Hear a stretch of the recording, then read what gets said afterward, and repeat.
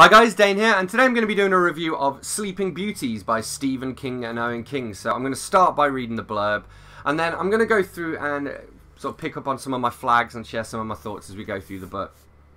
At this hour, we're continuing to follow a breaking story. Medical officials are reporting the outbreak of what some are calling Australian fainting flu. Around the world, something strange is happening to women. They're falling victim to a sleeping virus which shrouds them in a cocoon-like gauze. If woken, if the gauze is disturbed, the women become rabid. In the small town of Dooling, West Virginia, the virus is spreading through a women's prison, affecting all inmates except one, the enigmatic Evie. The abandoned men are starting to fight one another, while the town sheriff, Lila Norcross, is just fighting to stay awake and solve the mystery. But the clock is ticking, and the women of Dooling are about to open their eyes to a new world altogether.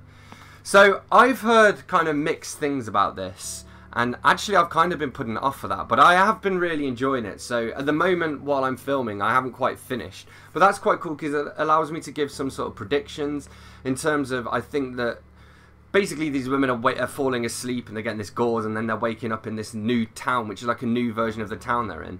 And because obviously it's Sleeping Beauties, I'm guessing that that's 100 years in the future or, or whatever. So I don't know how it's going to all wrap up and bring it all back together. But it also has some quite interesting stuff, I think, to say about uh, gender and like specifically like what women's influences on society and what would happen if that was taken away. We have a reference here to The Jinx, which is a show I watched a couple months ago.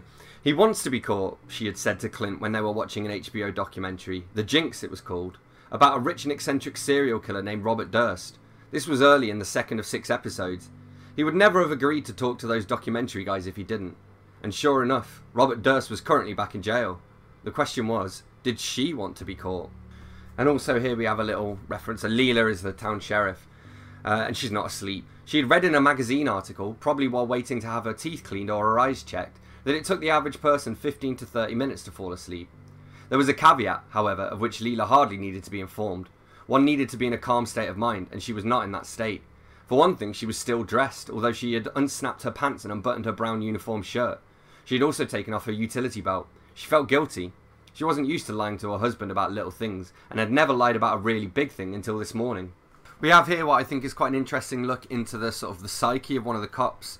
So um, it says he held open the cruiser's back door for her, and this called up another memory: the limousine he'd rented to go to the prom in with Mary Jean Stukey. Her in a pink strapless dress with puffy sleeves, the corsage he'd brought her at her wrist, him in a rented tuxedo. This was in the golden age before he had ever seen the white-eyed corpse of a pretty girl with the crater of a shotgun blast in her chest, or a man who had hung himself in his hayloft, or a hollow-eyed meth-addicted prostitute who looked as if she had less than six months to live. Hard job being a cop, I wouldn't want to do it. My uncle's one though. I like this little uh, this little sentence here. It's about Judge Silver and uh, the cat. Um, the cat has been hit by a car. He says, Silver wasn't crying now, but he had been. Frank hated to see that, although it didn't surprise him. People loved their pets, often with a degree of openness they couldn't allow themselves to express toward other people. What would a shrink call that? Displacement? Well, love was hard. All Frank knew was that the ones you really had to watch out for in this world were the ones that couldn't even love a cat or a dog. See, I got Biggie Cobain, so I'm alright. I'm not nuts. I like this little insight. Civilians had no idea how much nonsense you had to listen to when you were a cop. The public loved to salute police officers for their bravery, but no one ever gave you credit for the day in, day out fortitude required to put up with the bullshit. While courage was an excellent feature in a police officer, a built-in resistance to gibberish was, in Lila's opinion, just as important. Lila's a great character as well, probably my favourite character in this. We have this guy who's into uh, meth, we just have this little pop culture reference. The bag was blue plastic, so the rocks appeared blue until you removed them. This was probably Truman Mayweather's half-assed tribute to Breaking Bad. And I like this as well. It's just uh, he attempted to take down an 800 number, but the only penny couldn't, but the only pen he could find didn't work on the skin of his palm. And I think we've all been there where we've tried to take a note down on our hand and it hasn't worked. So I didn't actually flag for another hundred or so pages from here. So make of that as you will. But then we get back to it here. We have a news anchor who goes crazy basically because the other guys are saying that the reason all the women are having this problem is female hysteria. And she goes what the fuck are you talking about you penis equipped gerbil? She shouted. I have two granddaughters with that shit growing all over them. They're in comas and you think that's female hysteria? Women all over the world are struggling not to go to sleep because they're afraid they'll never wake up and you think that's female hysteria I thought this was a really interesting insight into uh, into Clint Clint Norcross. There is also at the start of this book like a list of all the characters should you need help keeping track. Clinton Richard Norcross had entered the foster system for good in 1974 when he was six, but the records he'd seen later said he'd been in and out before. But the records he'd seen later said he'd been in and out even before that. A typical story. Teenage parents, drugs, poverty, criminal records, probably mental health issue. The nameless social worker that interviewed Clint's mother had recorded she is worried about passing her sad feelings along to her son. Which is actually one of the reasons why I don't really want kids. Also, we have an overpopulation problem, so I'd rather just adopt if, if I was going to have child. And uh, speaking of the foster care system, it says here, girls in the system got hurt the most. Of course they did. Which is sad, but I'm pretty sure that's true. We have here Lila, the sheriff. She's driving her car, and um, basically, this illustrates what would happen if you hadn't had this sleep. Almost too late, she realised she was off the road and running into the underbrush, bound for a steep slope down which her cruiser would roll at least three times before reaching the bottom. She stood both feet on the brake and stopped with the front end of the car hanging over that gravelly drop.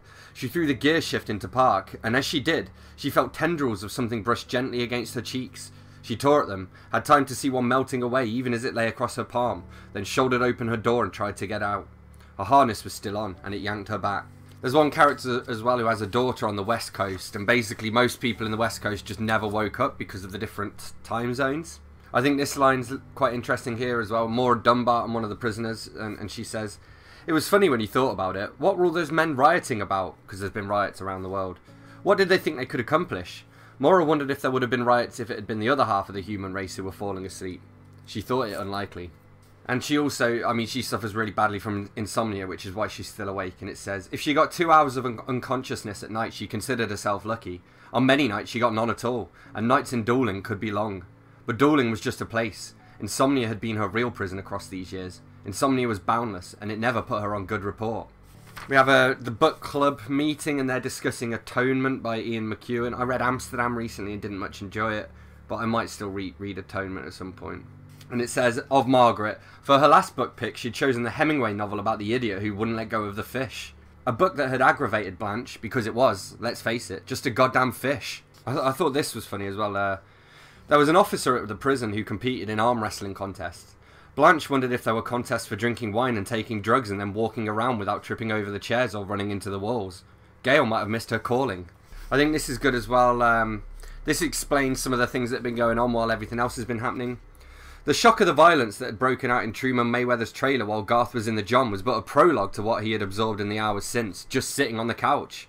Rioting outside the White House, a woman gnawing off the nose of a religious cultist, a huge 767 lost at sea, bloody nursing home orderlies, elderly women swathed in webs and handcuffed to their gurneys, fires in Melbourne, fires in Manila, and fires in Honolulu.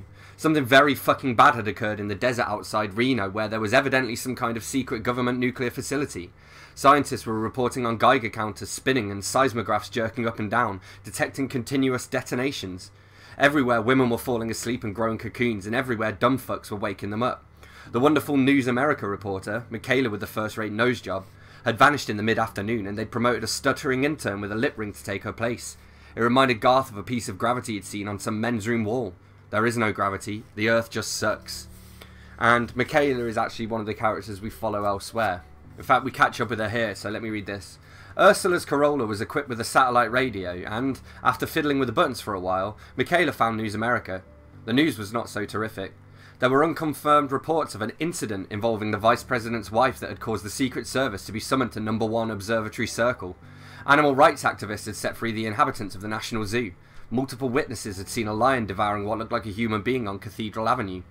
Hard right conservatives on talk radio were proclaiming the Aurora virus as proof that God was angry with feminism. The Pope had asked everyone to pray for guidance.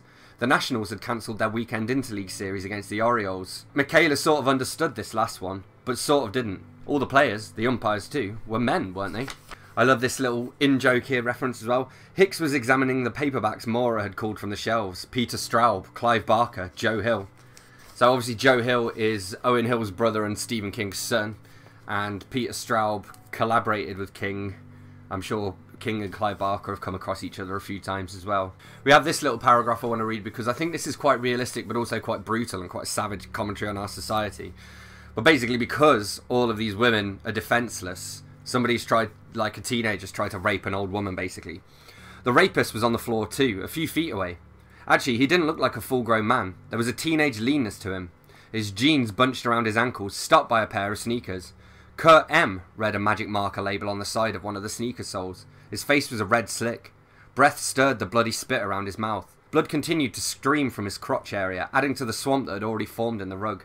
A stain coloured the far wall of the room, and below, on the floor, was a wad of flesh that Terry assumed were Kurt M's cock and balls. Because basically what happens is if you disturb the sleepers, they become, as it said on the rear, kind of rabid. I like. I think this is quite an interesting idea. One of the characters says, "Here is an interesting fact." Howland continued. During the second half of the 19th century, most deep mining operations, including those right here in Appalachia, employed workers called coolies.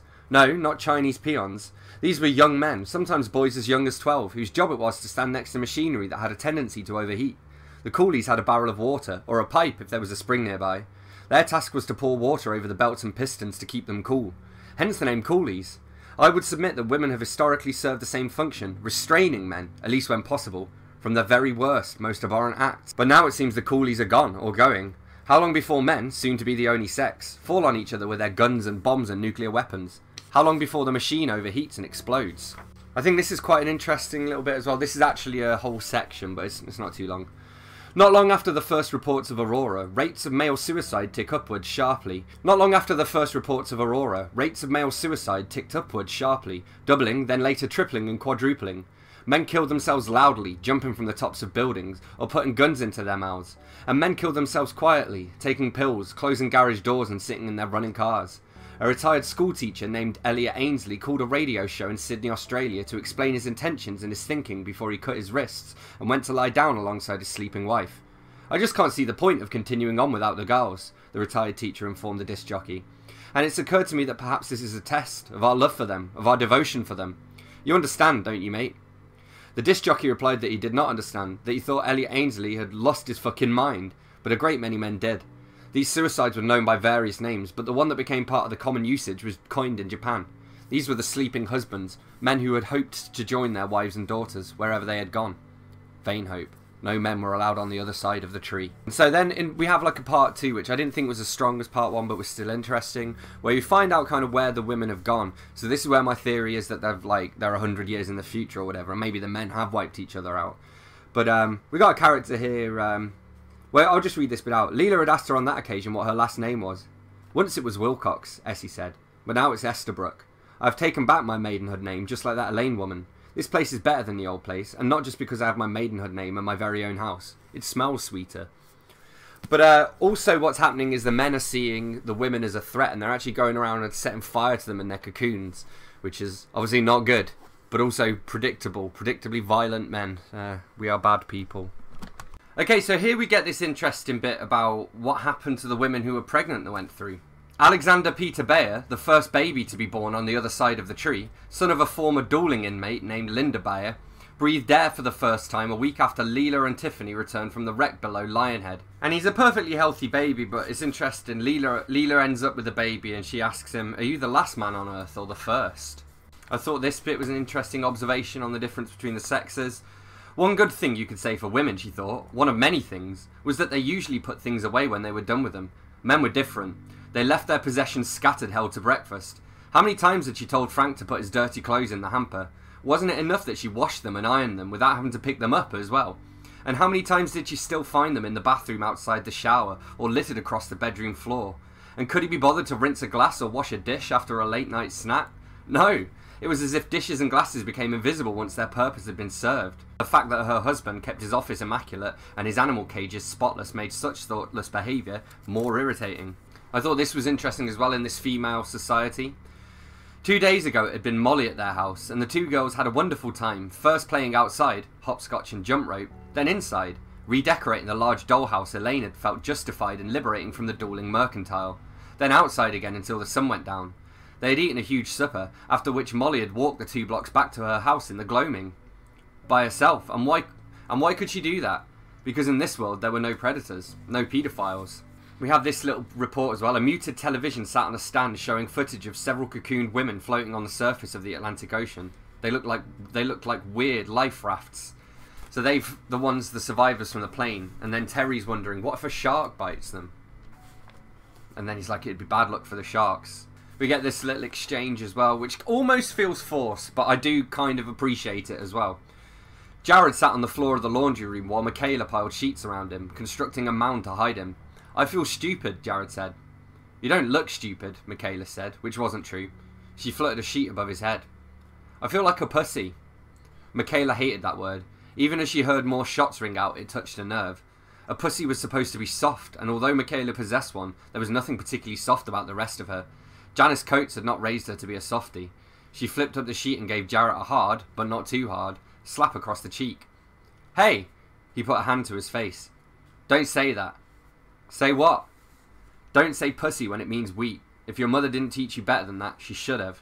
Michaela dropped the sheet over his face.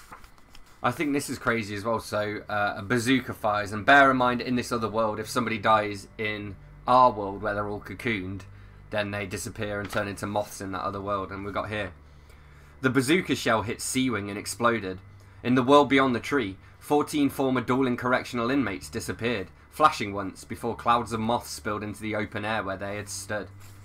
It's kind of crazy. That's 14 people in one go, you know? We get a reference here to Nora Roberts and James Patterson novels. Uh, this iron shield gets sent flying through the air with an explosion we have here. Frank stumbled over the twisted base of one of the main doors, and thus his life was saved. Johnny Lee Kronsky, still upright, was not just decapitated by a flying wedge of the Fleetwood siding, he was cut in two at the shoulders. Yet he staggered on two or three more steps, his heart beating long enough to send two gaudy jets of blood into the air. Then he collapsed. Brutal. I like this little uh, quote here as well. From behind them, Evie spoke quietly. The mothers will care. The wives, the daughters. Who do you think cleans up the battlefields after the shooting stops? I like as well. Then we go back to the women of the world, like the world of the women beyond the tree, and the men just have to settle down and wait. And they basically get this choice where they can all go back to our world, but all of the women must all decide to do it. If even one state wants to stay behind, they'll just have this world with the women. And they all have to think about that because they understand the advantages and drawbacks of both, you know? And they decide to come back. And then we get this little passage. Cocoons, it turned out, could float. Three women, passengers on the flight that had crashed in the Atlantic Ocean, awoke in their webs on a rocky beach in Nova Scotia. Their cocoons were wet, but the women inside them were dry. They walked to an empty rescue station and called directory assistance for help. This item was relegated to the back pages of newspapers and webzines, if reported at all. In the shadow of that year's major miracle, such minor ones were of little interest. And he ends up, uh, Clint ends up working with some of the women, and he asks them, Do you regret your choice? They all said no. Their selflessness astounded Clint, shrank him, kept him awake, sitting in his armchair in the AM gloom. He had risked his life, yes, but the inmates had handed their new ones over, had made a gift of them. What group of men would ever have made such a unanimous sacrifice? No group of men was the answer, and if you recognise that, then Christ, hadn't the women made an awful mistake?